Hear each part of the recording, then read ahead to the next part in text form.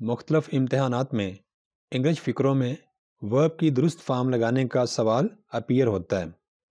آج کے لیکچر میں ہم بات کریں گے کہ ورب کی پہلی فارم کو کس طرح درست طریقے سے استعمال کیا جا سکتا ہے۔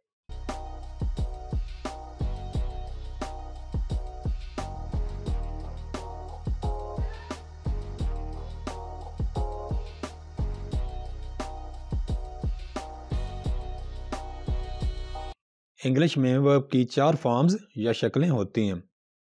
رائٹ ورب کی پہلی فارم ہے۔ راؤٹ سیکنڈ فارم ہے۔ ریٹن تھرڈ فارم ہے۔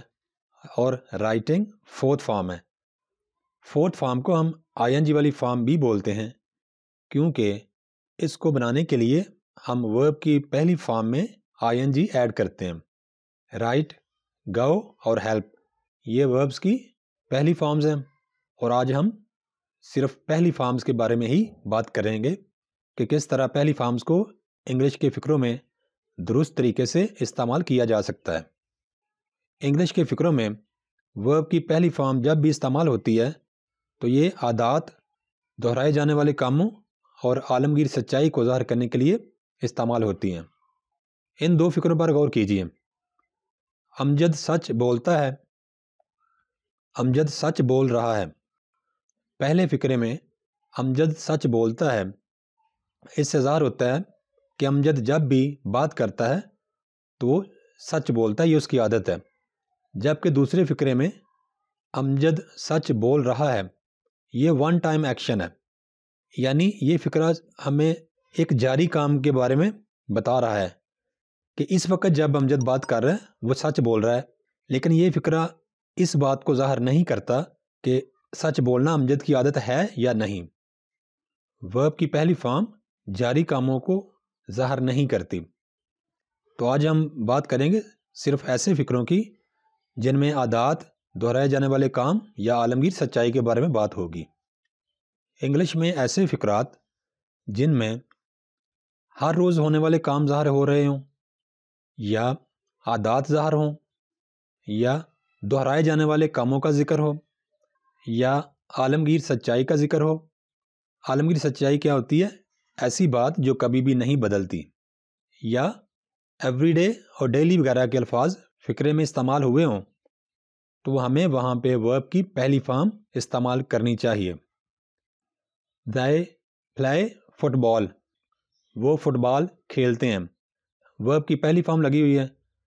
ورب کی پہلی فارم ظاہر کرتی ہے۔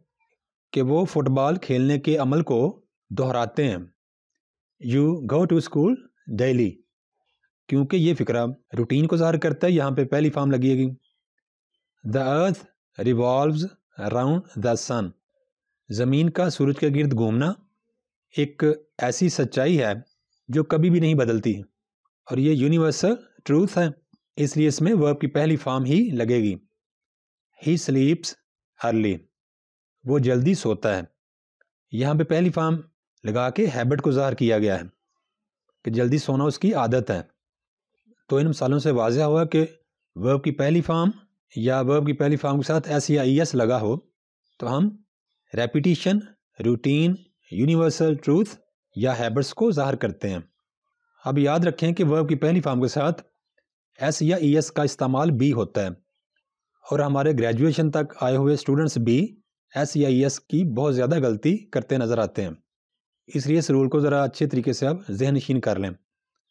اگر فکرے کا فائل یعنی سبجیکٹ ان تین لفظوں میں سے ایک ہو اٹ شی ہی ان کو تھرڈ پرسن سنگولر کہتے ہیں۔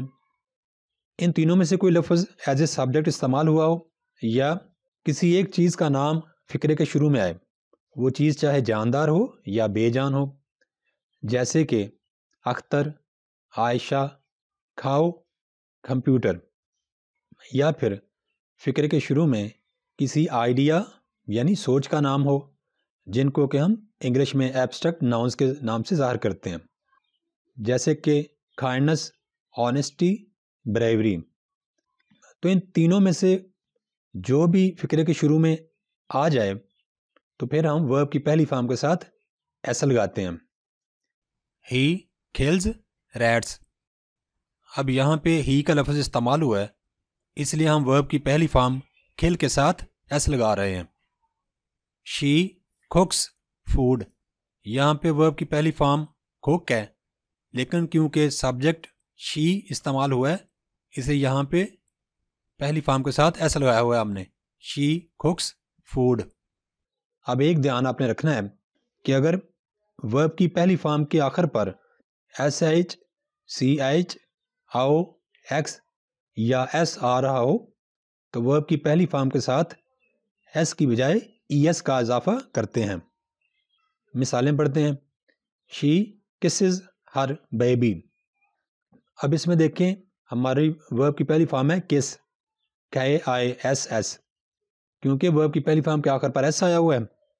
اسے یہاں پہ جب ہم ایڈیشن کریں گے تو ایس کی بجائے ای ایس لگائیں گے۔ اب یہ ایڈیشن کر کیوں رہے ہیں؟ کیونکہ ہمارے پاس فکرے کے شروع میں لفظ شی ہے۔ دوسری اگزامپل دیکھتے ہیں۔ ہی مکسز ڈفرنٹ ایلیمنٹس اب یہاں پہ ورب کی پہلی فارم کے آخر پر ایکس ہے۔ اور یہاں پہ ہم نے ایس یا ای ایس ایڈ کرنا ہے۔ کیونکہ ہمارے اس فکرے کے شروع پر ہی کا لفظ استعمال ہوا ہے۔ تو یہاں پر ایکس ہونے کی وجہ سے ہم ایس کی بجائے ای ایس ایڈ کریں گے۔ He mixes different elements third والی example Amjad goes to school یہاں پر ورب کے آخر پر او کا لفظ ہے اسی یہاں پہ بھی ای ایس ایڈ ہوگا ایس ایڈ نہیں ہوگا اور ہم کیوں یہ ایڈیشن کر رہے ہیں سی آئی ایس کا ورب کی پہلی فارم کے ساتھ کیونکہ یہ ایک روٹین ہے اور فکرے کے شروع میں سبجیکٹ واحد آیا ہوا ہے Amjad example number four the flyer catches the ball یہاں پر ورب کی پہلی فارم کے آخر پر سی ایچ کے الفاظ ہیں۔ اسے یہاں پہ یس ایڈ ہوگا۔ اور example number five Ayesha washes clothes every Sunday اب یہاں پہ چونکہ ریپیٹیشن ہو رہی ہے، یہاں پہ ورب کی پہلی فارم لگے گی۔ اور ورب کی پہلی فارم کے آخر پر ایس ایچ کے لفظ ہیں۔ اس سے یہاں پر ای ایس ایڈ ہوگا۔ تو امید ہے آپ کو ورب کی پہلی فارم لگانے کا طریقہ سمجھ آ گیا ہوگا۔ اگر آپ کو اس لیکچر سے متعلق کوئی بھی سوال آپ کے ذہن میں آئے تو آپ اس ویڈیو کے کامنٹس سیکشن میں مجھ سے پوچھ سکتے ہیں۔ Thank you so much for listening to me